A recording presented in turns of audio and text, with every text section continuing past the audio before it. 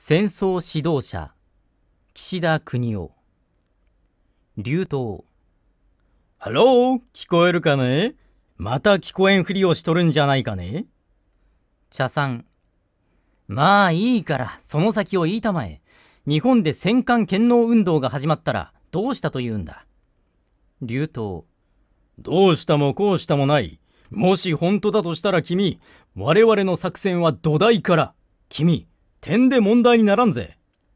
茶さん予算を増やせばいいじゃないか。君のところにはまだ金はあるだろ竜頭。金はあるが人がない。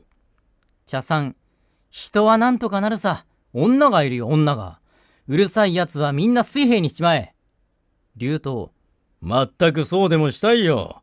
昨べも実はある婦人会でいじめられたんだがね日本の軍艦がアメリカの軍艦より一隻でも多くなったらもう戦争はやめろと言うんだ。